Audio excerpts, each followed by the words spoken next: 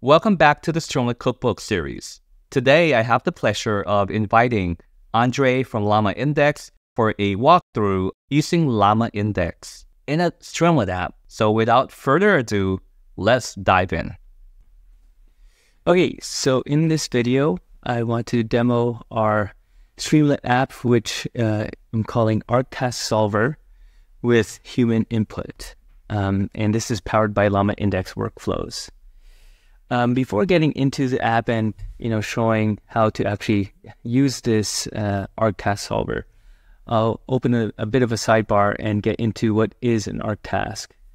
So ArcTasks, uh, tasks, excuse me, um, they come from this Arc AGI benchmark, um, and essentially this benchmark is meant to measure the ability of an AI system to learn new new skills. And if I scroll down real quick, uh, what what the idea here is that uh, other AI benchmarks are relatively solved by AI systems today uh, in terms of like their relative capability uh, compared to human capability, right? However, for this ARC AGI benchmark, um, you could see that humans are actually not that. Uh, sorry, humans are doing quite well on this benchmark but even like the best AI systems today are far beneath that level. Um, and even here on this x-axis, they say Arc AGI remains impossible for AI today. And so the creator of this, uh, the creators of this benchmark created this Arc Prize, which totals, uh, you know, uh, a million dollars and if not more in terms of public competition to beat an open source uh, solution for this benchmark. And I believe that public competition is this one on Kaggle, um, and and this is live now. And you can even see this quote here, which I highlighted, which states that uh, humans can easily score 85% in ARC, uh, whereas the best AI systems can only score 34%. Okay, so with that backdrop, you know, let's get back to this app. Uh, so essentially, that is the main motivation for wanting to do um, human in the loop with this. So what we're going to try and do is we're going to try and use an LLM uh, and work collaboratively with an LLM to solve these tasks from this benchmark. and you'll see shortly how it works. Um, but the idea is again, as we work with the LLM to uh, solve these problems, hopefully what we can do is we can save these sessions, and that's essentially what we'll do. Um, and you know, fine tuned uh, these collaborative sessions, these positive sessions where we do solve the arc task on the LLM so that uh, by doing so, we inject that human reasoning on this task, and hopefully that can lead to a better score on this difficult benchmark. So that's the premise. Um, now, let me get into what is an actual ARC task. So, each task within this benchmark is essentially a, a new puzzle. And all these puzzles come with these grids. And uh, every task comes with train examples. Um, and so in this ex- uh, in this task, there are three train examples. And uh, in a train example, you've got an input grid and an output grid. And what's common between all these uh, train examples is the pattern between input to output pair. Um, and if you could see, you probably are watching and can you know guess what the the um, pattern is. Now, if you know what that pattern is, then essentially you just need to take that inferred pattern from the train examples and make a prediction on the test case within that task. And then you make that prediction and you see if that does match the ground truth, which of course I've, I'm hiding here from the app. And I hide that from uh, the LLM as well when we do prompt it to make a prediction on this grid. So what we'll, what we'll do here is we'll work with an LLM. We've designed some prompts, uh, and we're, we're using LlamaIndex workflows to power this whole application.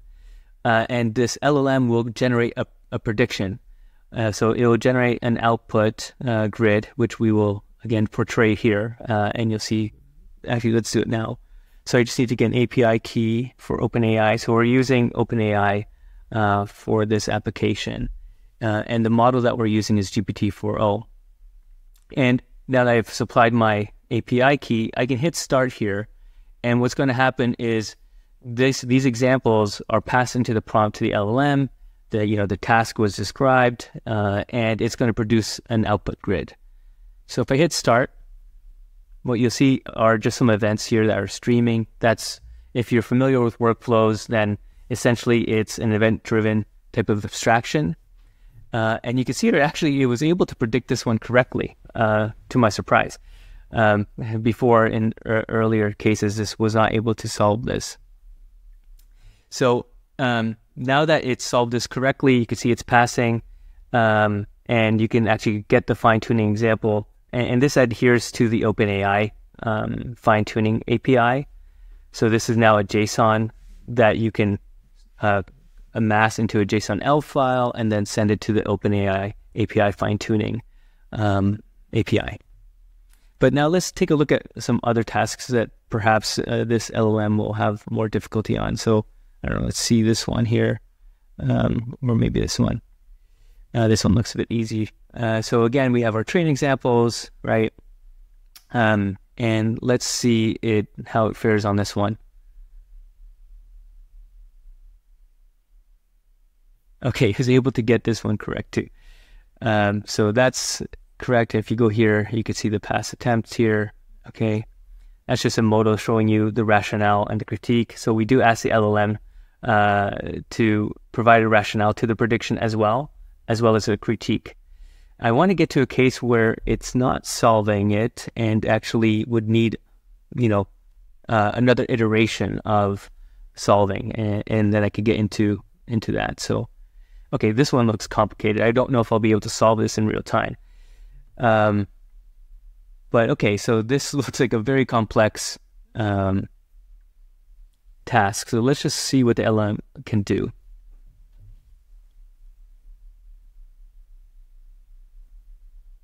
All right, so it's not passing.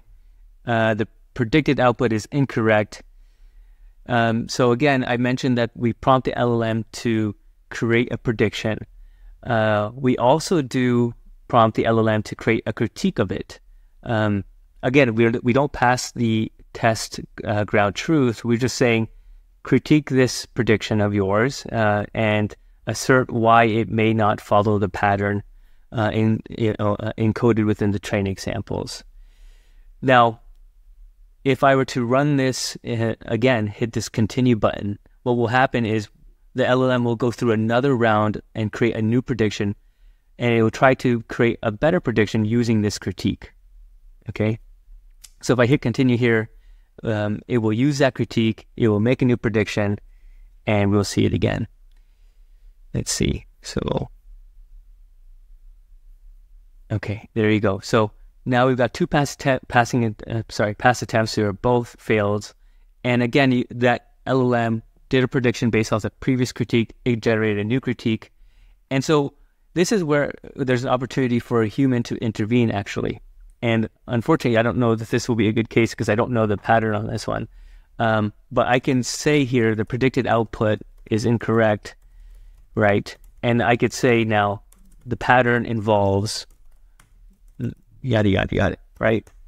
And now if I actually knew the pattern, I'd mention it to uh, the LLM here and I would uh, run this. And by doing so, I've now injected this human reasoning. Um, I don't think it will get it. I hope not. That wouldn't make sense. Okay, so if I go to this past attempt here, you can see if I click here, uh, sorry, that's the critique on the latest one, but if I go to this one, you can see there is my critique, right? Now, imagine, you know, I have worked on this a couple of times, so some of the examples I was able to work with the LM collaboratively and provide it a critique so that it would uh, ultimately solve uh, the the task. And imagine it was able to do so. Uh, you you could take a look at your fine tuning example, and you could see the history um, that would, again conforms to the uh, fine tuning API that OpenAI provides. And yeah, this is again me, the user, saying the predicted output is incorrect. The pattern involves blah blah blah. So when you're actually doing this, provide an actual rationale and then hopefully what will happen is that the LLM is able to solve that problem together with you. Now, if this was a good case, you'd want to save this and then you'd want to then fine tune your LLM. Okay, so that's essentially how you inject your uh, human input and reasoning within this task and how you collaborate with an LLM to solve them, hopefully. Okay, um, so now I just want to walk you through um, the GitHub repo for this app uh, because it involves more than just a Streamlit app here. So the Streamlit app will help you to uh, basically amass your fine tuning data set, which will have human reasoning, uh, collaboration sessions with the LLMs that you can then fine tune on. Now, in order to fine tune, uh, and I'll get into that stuff uh, very soon, um, we've got this CLI here that we've included in the GitHub repo. So when you do install the package and you follow the README instructions, um, and you set your API key um, in, in your environment variable, you'll be able to submit a fine tuning job um, and, and, specify the LLM, uh, etc., uh, using our uh, CLI tool. And essentially, what will happen is all those fine tuning examples that you did save will get saved to your local file system. And this CLI will concatenate them and prepare them into a JSON-L file, and it will submit it to the fine tuning API. Uh, you could check the status of a fine tuning job. And, and then finally, with the CLI tool, you can also do an evaluation because the dataset um, also comes with uh, not only training examples, but an evaluation dataset. Uh, and so, again, those are not seen uh, by the LLM or by the human uh, for that matter. Um, and you can, um, you know, test your, like any sort of LLM that's not fine tuned on the task you can do an LLM that was fine tuned on your uh, human annotated um, collaboration sessions, uh, and then see if that that leads to a better score on the ARC benchmark. Um, and yeah, so before uh, finishing this demo, what I do want to talk about is the a bit of under the hood. So I mentioned there is a workflow, a LlamaIndex workflow that is essentially powering uh, this ARC task solver. And I've hinted at it before uh, that what the LLM does is a prediction, evaluation, and then a critique, right? And you know, we actually implemented this using a LlamaIndex workflow.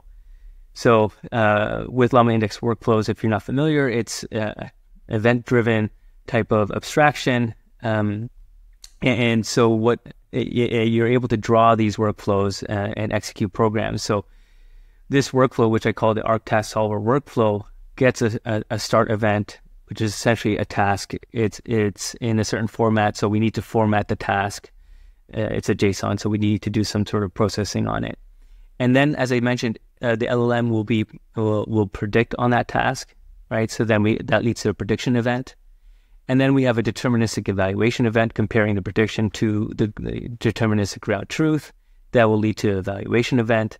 And then I mentioned that we prompt an LLM to critique uh, the the prediction. It doesn't know the ground truth uh, it, when we prompt it to get this reflection.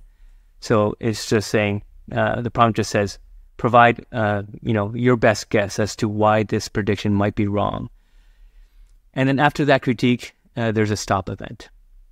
Now, what's nice about workflows is that you can run successive workflows passing in um, a context, which is a way that we can pass state uh, through these successive workflow runs.